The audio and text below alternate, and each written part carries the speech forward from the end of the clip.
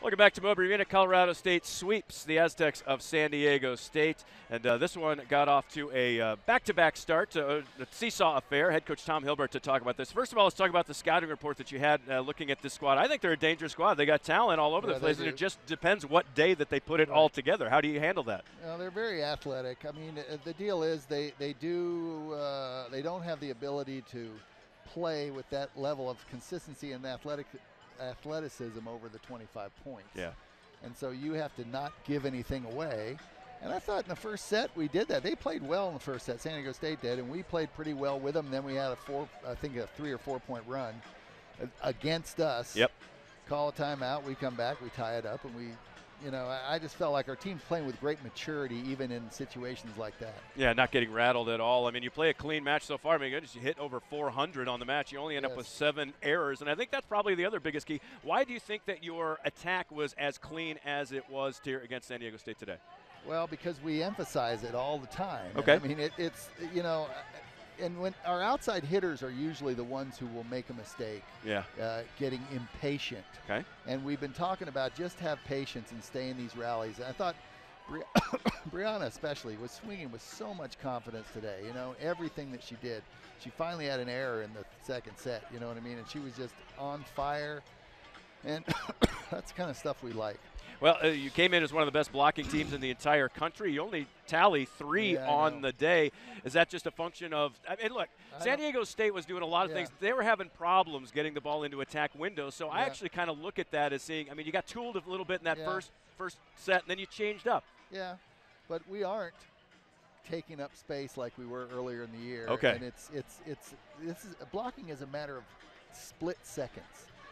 And we finally got a stuff there at the end. We need to stuff more balls, and it's it's about being maybe an inch or two further over the net. You Okay. know what I mean? And and um, our team earlier in the summer we were doing, or in the season we were doing it.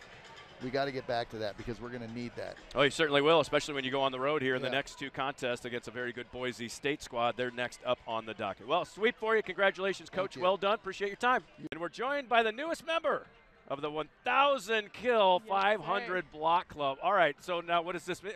What do you do? Are so you now just exchanging text messages with with, McKenna Barnes and uh, Megan Plord and uh, Angela wish. Knopf? Is that how that works? I wish, you know, as soon as I found out who was the top, like who were the four players who ever, ever got it, I was so excited because Megan Plord was like my dream player when I was growing up, and I was like, I want to be like her. Um, and so it's just such a cool feeling that I'm in there with her, and like I can be considered with her. So it's super exciting. I was going to say, I don't know if you guys have a secret room here at Moby Arena. You have, uh, you, you, you can have your some reunions down the road, and you can sit here and reminisce on that stuff. But let's talk about today and what happened today. You had another fantastic day, zero errors, 12 kills. I think it was uh, 18 swings.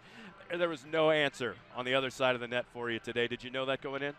Uh, I did not, you know, I just wanted to head in and play as well as I could for my team, and uh, it's pretty exciting. I had no idea what I was going to come out with, and I literally just now is the first time I've heard what I got. So yeah, that's a pretty good day. I mean, it was all coming along, and you're just rolling along, doing what you do right there. For Um, let's talk about the rest of this contest. Uh, obviously, uh, Coach Hilbert was talking about the blocking a little bit. You accounted for the lone stuff block, uh, termination block at the net here today.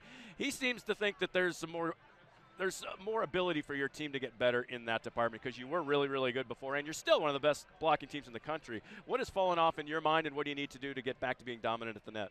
I think it's super key to focus on when we're heading into conference play that a lot of the Mountain West teams hit at a lower level. Yeah. So uh, a lot, we played a lot of high, a lot of tall teams in preseason, and so it's easier for us because we're high and we're tall teams. Yeah. And that's what we see in practice every day. So when we play these shorter teams that have shorter players, they're sneaking it under us.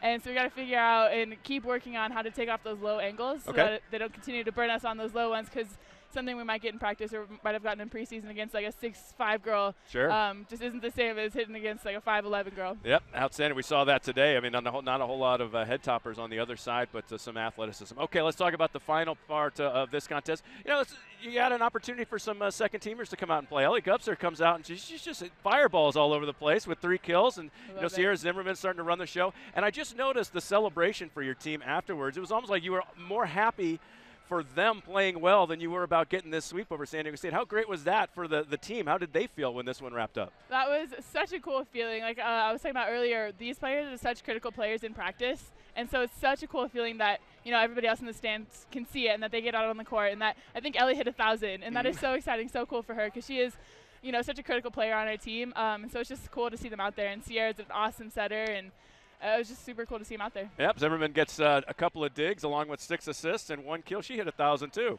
How Uh, about that? Yes, she did. Watch yes, out. Did. You're gonna lose your spot, even though you're a, a senior member here, Oh, 1,500 club. Uh, kids, kids are hitting 1,000. They're coming for you. Kirstie, congratulations on not only the accomplishment in your career, but also the victory here today. Thank you so much. That's Kirstie Hillyer, our player of the match.